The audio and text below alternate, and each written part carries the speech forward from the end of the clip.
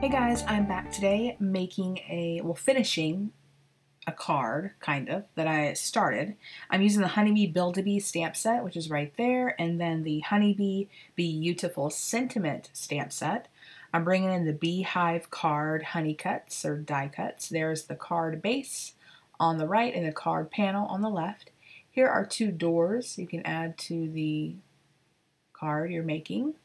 Here are the bees I've already made. I did these bees in my chatty video. That's why I kind of said I'm finishing something I started.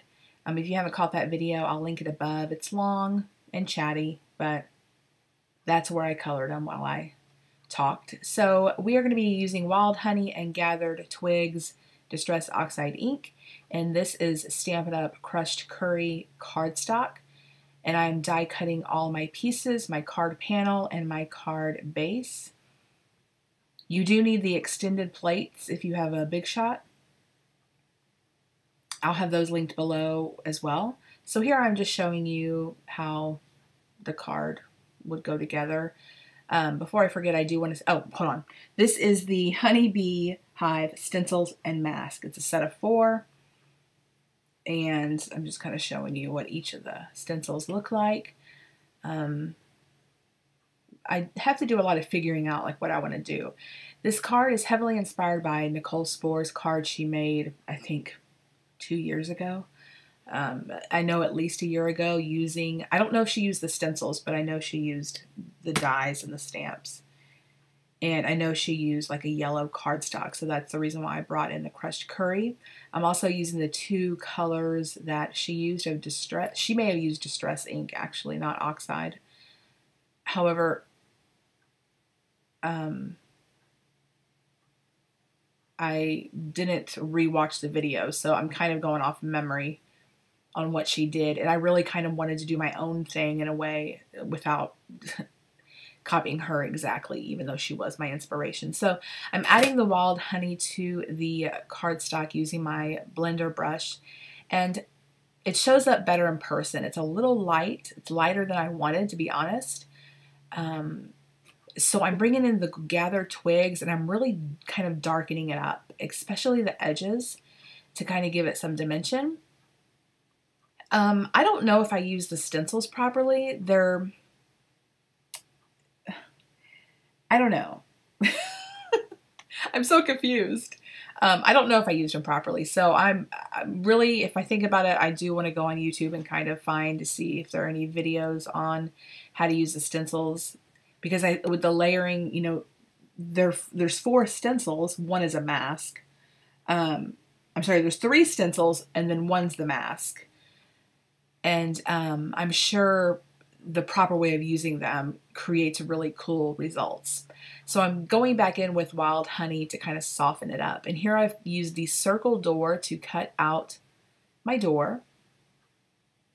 It's very, I will say that this die, like here's my card base, the the part where it's folded is very delicate and even the door is very delicate. Like those pieces could easily shift and tear.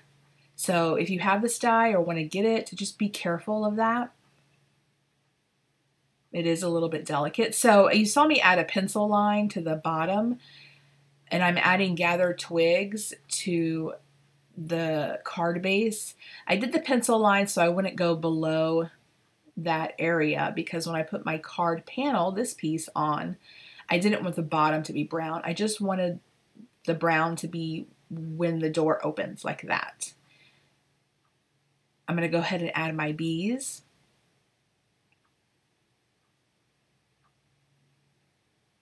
This stamp set, I mean, it's so stinking cute. I love it so much you can, you know, it's a build-a-bee. So you have all these bodies, you have all these faces, you have different wings, ears, antenna. I mean, just really sweet stamp set.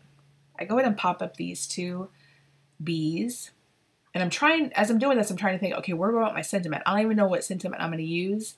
So where can I place these where it allows me room for my sentiment? And of course, you could do your sentiment all inside, but I did want something on the outside. So here I'm taking the Nuvo, uh, my Nuvo sparkle pen and adding some sparkle to the wings. I do bring in a Signo pen and add, of course again, this is totally inspired by Nichol Spohr. add some little dots with the cheeks, some highlights. It is hard to see on camera, the cheek dots, but um, it, it does show up in person. It's pretty cute.